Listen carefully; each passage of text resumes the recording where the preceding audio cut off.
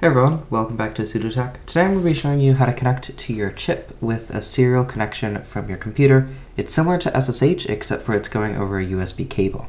Now you might remember the chip, which is the $9 mini computer that I got through the Kickstarter campaign probably almost a year ago now, and it stopped working for me for a while because the flashing wasn't working to put a new operating system on it. It was just booting up to a chip logo screen and it wouldn't get past that, and all the attempts I did to flashing weren't working. Luckily, in late 2016, they updated it, and it's now working for my chip. I just haven't gotten around to testing it until now. One of the things I've liked about using a chip is that I'm able to connect to it on my Windows machine, or it also works on a Mac or Linux machine, of course, via Serial, which is a USB connection that the chip is already set up with, so I don't have to worry about networking, SSH, or reading the terminal through a fuzzy analog input. You can read this section of the chip documentation to see how you can do it for your individual system. I'm going to be going over it for Mac and Linux and then showing you how to do it on Windows. So for Windows, you're going to need PuTTY, which you can get right here. You probably already have it if you've done SSHing. Then you're going to want to open up your device manager. Now under ports, you might have a couple of ports here. I have the communications port, which is on COM1, and then the USB to serial connection is on COM7. That's the key that we're going to need to connect to it. Just remember COM7 in my case but whatever shows up right here on your computer.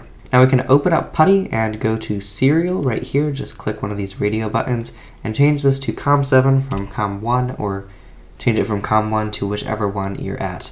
Now NextThingCo recommends that we use a data rate of 115200. So we can punch that in. Some other data rates worked just fine for me, although I did have issues with some of the text encoding. So if you're having issues with that, just go back to this. Then you can go into open and it should show up with your Linux terminal on chip. Of course, you can log in. Now, if you're on a Mac or a Linux machine, it's a bit simpler or maybe a bit more complicated, but depending on what you know about the command line. Now, this is the Linux command line, the Ubuntu command line that comes with Windows 10. We can go ahead and pop this in, and for me, it's not going to work.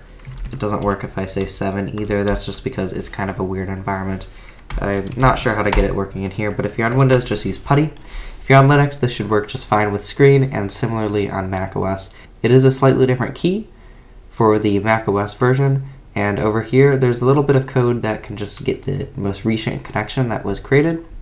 You can do slash dev slash tty star, and that'll just give you everything, and that worked best for me on macOS when I was trying it.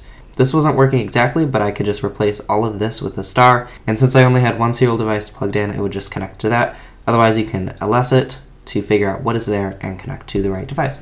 So I hope this was helpful if you're just getting started with your chip.